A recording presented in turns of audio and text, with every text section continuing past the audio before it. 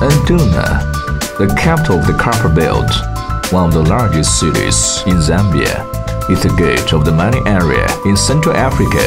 The new Copperbelt International Airport site is located 13 kilometers west of Ndola City, targeted to be the major regional international airport.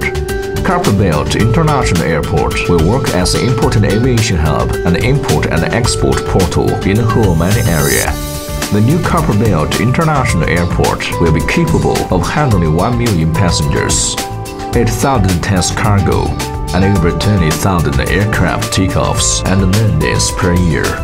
The Copperbelt International Airport consists of a new international passenger terminal building of 12,000 square meters with a ramp, a 3,500 meter long Category 4E runway, an air freight terminal, general aviation site, business complex, hotel, car parks, and other facilities such as electricity power, water and wastewater and sewage processing and fire and rescue station, etc.